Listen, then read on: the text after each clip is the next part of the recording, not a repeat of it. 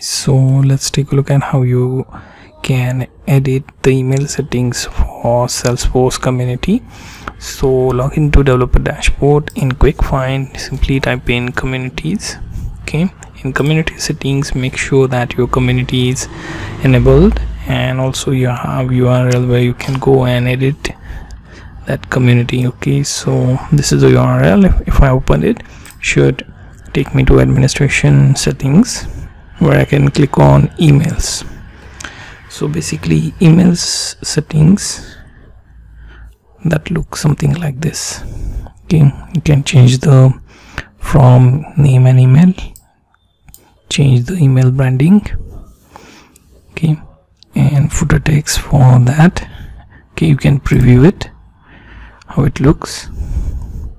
Okay it looks something like this. You can change this logo also you can edit this from and other areas okay? You can make sure to have subject based on the thread notification okay? That ap appears something like this. You can uh, add user photo depending on the setting given.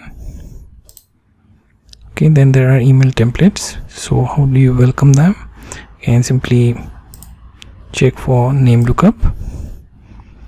Okay so here you'll see new member welcome email that you can choose from the template if, if already made.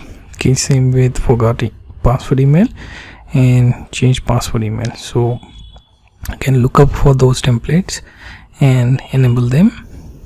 Okay so it will be mapped to the first user here which is listed okay?